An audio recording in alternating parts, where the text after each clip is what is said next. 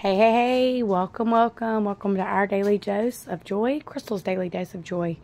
So yes, yes, welcome family, friends, and followers. If you're new, then welcome. If you're returning, welcome.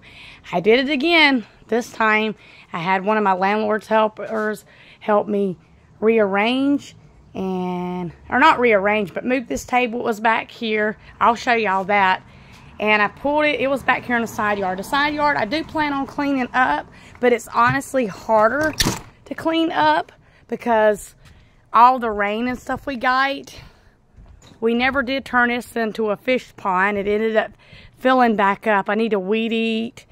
And then me and my husband at some point, I don't know how soon, needs to do a trash run. The old toilet is still sitting in the back. This needs to be hauled off.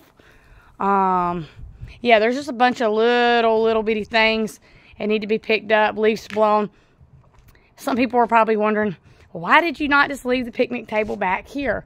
We have a hose hookup, but honestly, we share this one. This one is between him, our landlord, and his property and ours.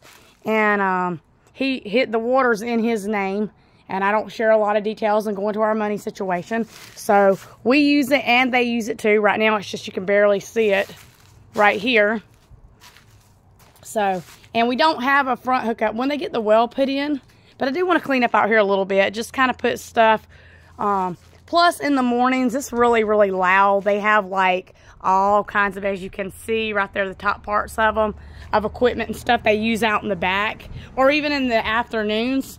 Um, in the front, you don't hear it as much. So I'm always out in the front just watching the the neighbors and people that go down the streets and it's real pretty and green out there.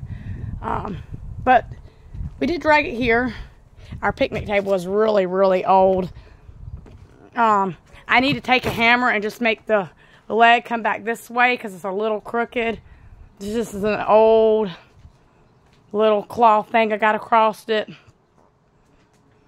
I want to get a few spring pieces. These are only here. It looks a little silly because it keeps it from flying up when it's kind of windy.